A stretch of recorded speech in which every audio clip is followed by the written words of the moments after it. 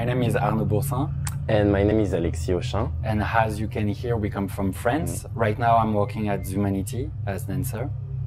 And uh, I'm a dancer as well and physical actor, and I'm working with uh, different companies in Europe.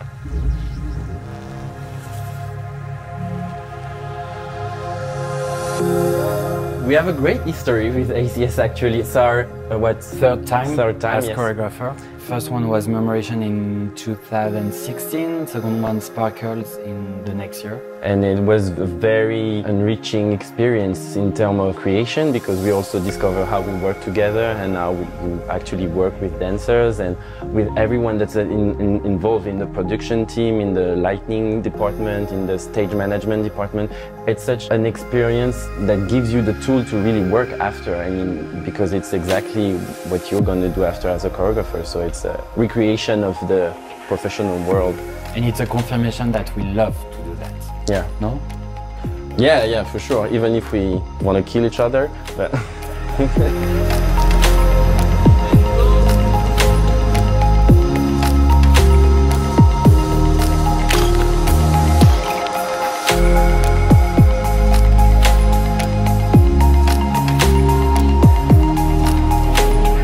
we are looking for strong performer who can interpret and they can perform and dance without their egos. Like that, it will be more uh, honest feeling, a honest uh, sensation. And if something honest comes from them, the reaction will be like really yeah. strong and powerful. And laugh again.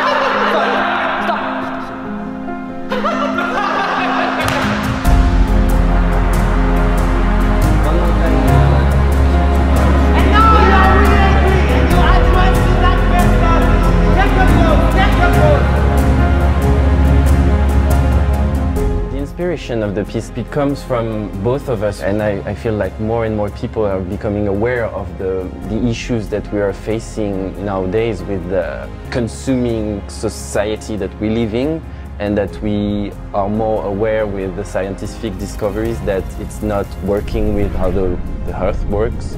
So we cannot consume as we are and we need to change and it feels like we know more and more and more about that, but yet we don't change our habits. This piece is really a necessity. It's like a call for help. This piece, which is called Hubris, is a cry for help and a, a last call for sanity because we are on the point where we need to make a, a drastic change in the way we're living if we want to make this planet inhabitable for ourselves and our future generation. This is the main base, this is the raging forces underneath the piece. The other inspiration is a poem by Dylan Thomas, which is called Raging Against the Dying of the Light. Very strong poem about that you need to find to fight against the darkness of things. And uh, one last uh, inspiration is the music, yeah. The, it's a coronation music uh, from uh, Handel. And it's a music that is a coronation anthem that's being played when the kings and the queens of England are being anointing queen a music that is played at the point of transition, where someone is coming from human to the incarnation of God on earth. And what we did find interesting in, the, in that music is the, this transition, is the transition that needs to happen within every one of us. We need to become our own queen and kings.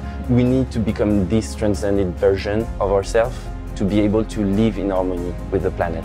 Otherwise, we are lost and uh, that's what Pina Bausch said like dance dance otherwise we are lost and we feel like dance is a great medium to speak and reach directly to the soul of people because you don't read it with your mind you, you feel it with your heart and that's very important for us.